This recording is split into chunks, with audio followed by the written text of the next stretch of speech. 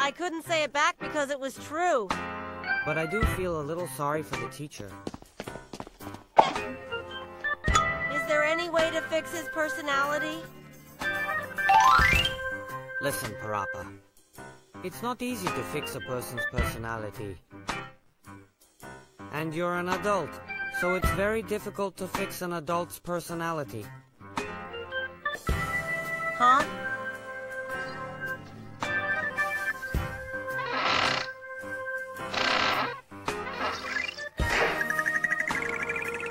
Huh? Don't sleep at this time? Me? Did I sleep? You had your nose hanging out. I think it's gum. Cinnamon gum. Want some?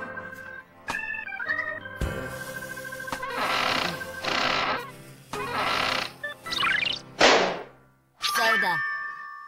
When did I think of that?